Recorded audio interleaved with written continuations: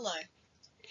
This workshop, Return to Study, Harness Your Strengths as a Mature Learner, was developed to help CDU's mature students get started in their new academic life.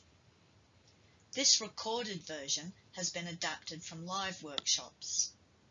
Much of the live workshop involved a lot of discussion amongst the student participants. You should pause the video to think about your own answers to the questions that come up while you watch. First, Charles Darwin University acknowledges the traditional custodians of the land on which we're meeting and pays respect to elders, both past and present, and extends that respect to all Aboriginal and Torres Strait Islander people. Today, I'm working on Larrakia land. Whose land are you on? To warm up your brain, you may like to pause here to look at these images and consider these three questions. Who are CDU's mature learners? And what strengths and challenges do you think they have? How about you? Today, now that you've had a chance to consider the issues, we have two goals. We will first identify the life skills that you already have that you bring to your studies, and then we will address the challenges that students have raised at the live workshops.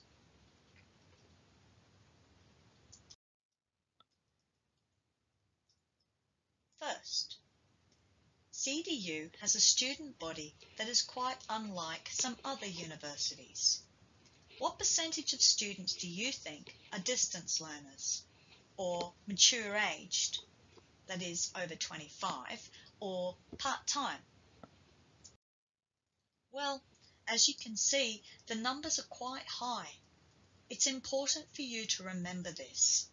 Many new students commence their studies thinking that they're the only one in their class who is older and juggling other commitments. But the reality is that mature learners are common at university. Your peers are not all going to be school leavers living with their families. And this is important to remember, especially when the mindset gremlins attack. One common gremlin is imposter syndrome. That is when we feel we don't belong or that other people are more clever or knowledgeable the reality is you probably know just as much as your peers, and you probably have more skills than you think. I like to think of mature learners as having superpowers. What do you think are these superpowers? Pause here to put these letters in order to solve the puzzle.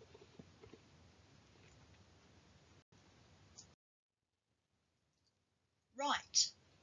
So, what are your superpowers? You have transferable skills that you have developed through your life experience. Also, you probably have certain personal attributes. You may feel that your academic literacy or your numeracy or your knowledge of your discipline is lacking, but you will develop those at uni. That's what uni is for. Students on previous workshops came up with this list of their own attributes. Now, let's look at a couple of real-life examples. Consider Kim. Pause here to read about their life. What skills and attributes do you think Kim already has? Okay. Compare your ideas with what students at the workshops brainstormed. You may have come up with similar. As you can see, Kim will arrive at university already quite well equipped with the skills she needs for success. Let's take another example. Consider Sasha. Pause here to read about their life. What skills and attributes do you think Sasha already has? Now, again, Compare your ideas with what students at the live workshops brainstormed. As you can see, Sasha already has useful skills and attributes. Here's a list of useful transferable skills. Pause here to think. How many of these skills do you bring to CDU?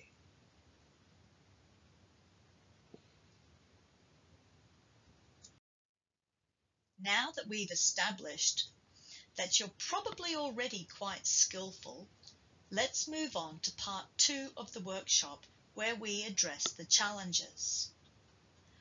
What challenges do Kim and Sasha and possibly you face? The students at the live workshop brainstormed a list of challenges that we will look at one at a time. Challenge number one was having a place to study. What advice would you give someone who doesn't have space in a crowded home? Pause here to think. Okay, some of the students at the live workshops had this problem and they came up with a range of ideas.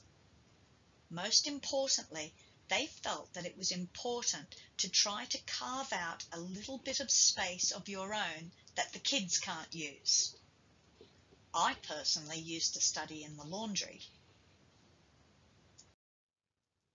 They also suggested other places to study, such as the library at night or cafes. They suggested strategies for blocking out family noise and apps that you can use for studying on the go, like Quizlet. Challenge number two was finding the time to study.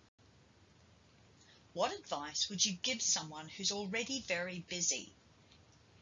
Pause here to think.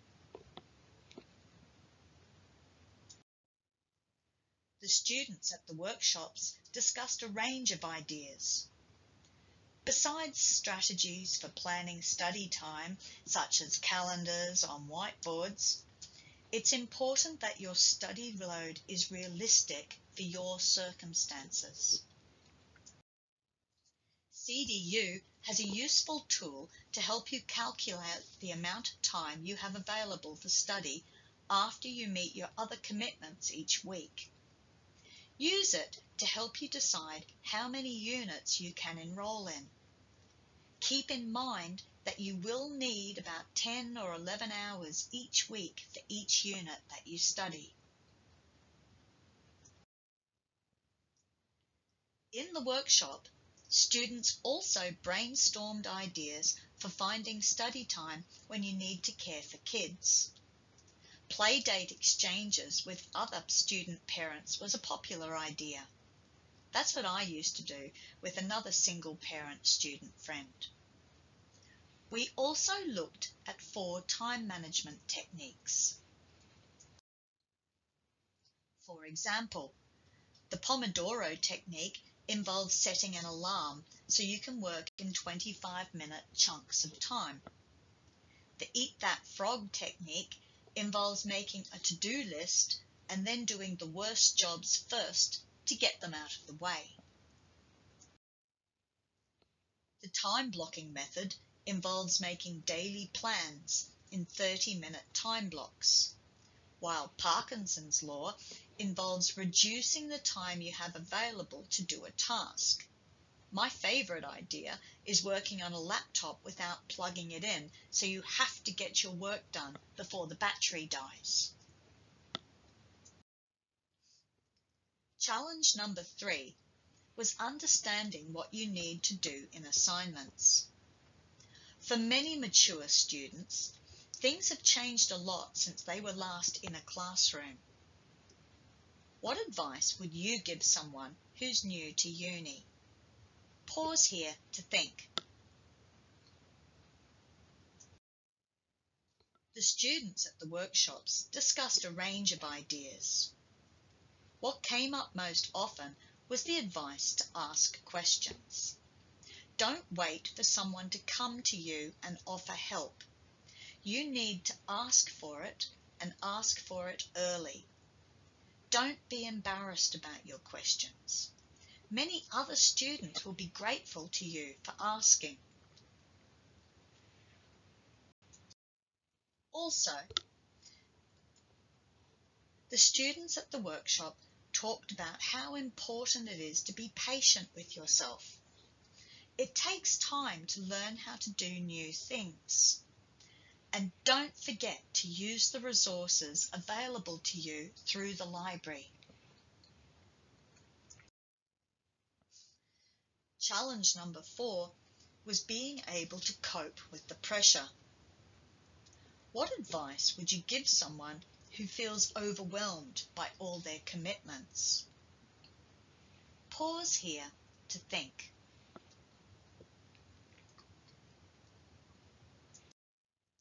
Now, in the workshop, we did a task. Pause the video and make a list of everything you need to do in the next 10 days. I've started mine so that you have some ideas. Next, we looked at a useful decision matrix. You need to consider how important a task is to you. Important tasks are tasks that help you achieve your long-term goals or maintain your good health. Next, you need to consider how urgent a task is for you. Urgent tasks are those with close deadlines. That will help you decide whether a task should be done now, scheduled to do later, given to someone else, or simply deleted.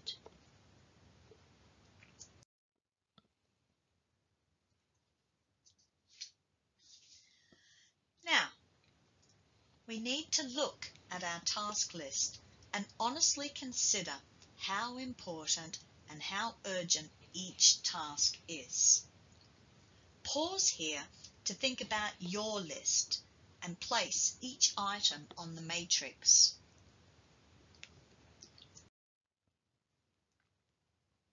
Here is my matrix. In the workshop, students compared theirs in breakout rooms and discussed common issues such as delegating tasks to partners and kids. It might help you to share your matrix with the people in your household as a way of sharing the load. One more point before we move on is that you are likely to experience stress as a student. In the workshop, we discussed how you need to be kind to yourself and not expect perfection. Most importantly, prioritize your health and seek help early. CDU has a range of support options, as you can see, so make use of them. Finally, the last challenge is not knowing other students. This is often the case for students who study distance or part-time, and this can make seeking the support of your peers a bit trickier. What advice would you give? Pause here to think.